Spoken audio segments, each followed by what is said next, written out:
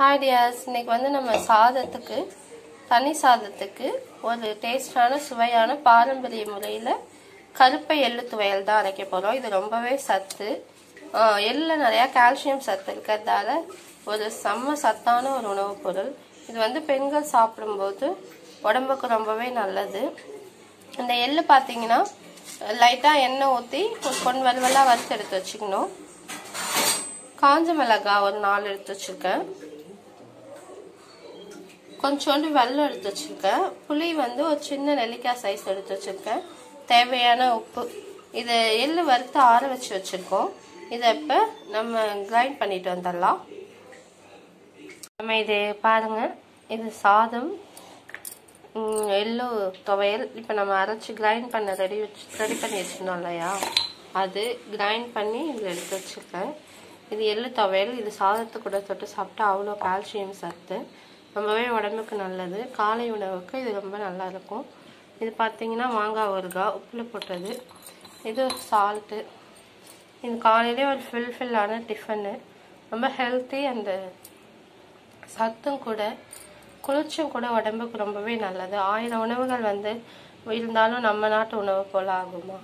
அதனால சாப்பிட்டு என்ஜாய் பண்ணுங்க. சேஃபாக இருங்க.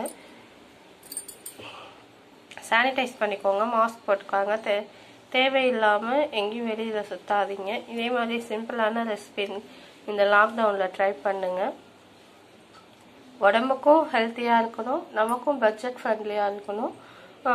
குழந்தைங்களுக்கும் சத்தாக இருக்கணும்னா இது மாதிரி பாரம்பரிய உணவுகளை கையாளுங்க.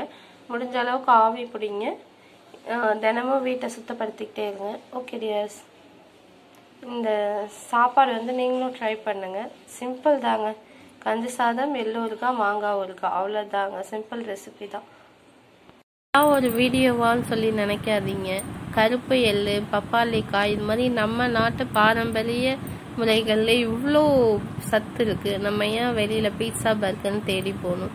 அதுக்காக தாங்க நான் இந்த வீடியோலாம் உங்களுக்காக போஸ்ட் பண்ணுறேன் கண்டிப்பாக நீங்களும் இந்த மாதிரி iron content zinc content calcium இது மாதிரி எந்தெந்த சத்து இருக்கோ அது எல்லாத்தையும் தேர்ந்தெடுத்து சாப்பிடுங்க காய்களில். இந்த மாதிரி டைமில் வீட்டில் இருக்கும்போது தான் இது மாதிரிலாம் நம்ம செஞ்சு சாப்பிட முடியும். ஒர்க்கிங் டேஸில் நமக்கு டைம் இருக்காது இல்லையா? அதனால தான் நான் அந்த பாரம்பரிய உணவுகள்லாம் உங்களுக்கு போஸ்ட் பண்ணுறேன் பாருங்க இந்த சிப்ஸ் ஷேப்பில் கட் பண்ணி வச்சுருக்கோம். இதுக்கு என்னென்ன பவுடர் போட்டிருக்கேன்னா கார்ன்ஃப்ளவர் சால்ட்டு சில்லி பவுடர் அவ்வளோதான் இது எல்லாத்தையும் போட்டு ஒன்றா மிக்ஸ் பண்ணி இப்போ இதையும் மிக்ஸ் பண்ணி பொரிச்சு எடுத்துருக்கேன் பாருங்கள்